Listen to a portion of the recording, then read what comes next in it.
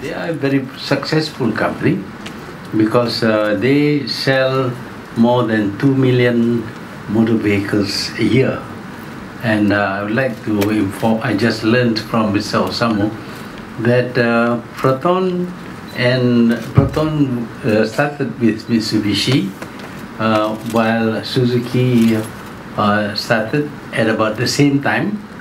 We are going to signed a memorandum of understanding and licensing for Proton to uh, work with Suzuki Motors in the production of some motor vehicles.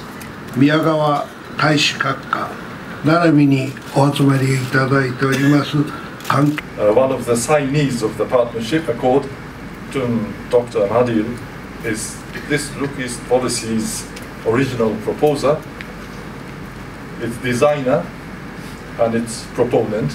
uh, with the growth and development of Proton, of course, that's going to benefit Malaysians uh, in the form of job opportunities. Uh, those of you who are working here in Proton uh, is going to benefit uh, people down the line, the whole ecosystem, the vendors, those who sell cars.